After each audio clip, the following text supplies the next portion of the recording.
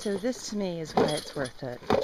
So I've got my little bag with the jingle bell and they hear it in the woods and they come for their bottle. And it's kind of, there's no other way like that to greet the day. They live in the woods and they come in the morning. Good morning, little one. Good morning. Okay, just a second. These guys are very, very happy this morning. They've just been like, they got their bottles and they've been running and playing. And as soon as I turn the camera, oh no, here we go, here we go. Oh my. It's fun to be a fawn. It's fun to be a fawn.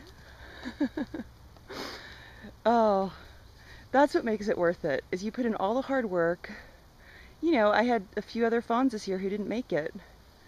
You put in all the hard work, all the heartache, all the time, expense, energy, money, you know, picking ticks off, wiping asses.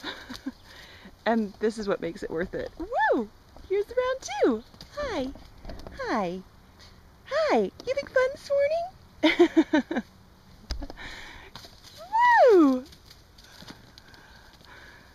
So I wish I could stay out here with them, but I gotta get it to work, and it's good as well because they need to be fawns.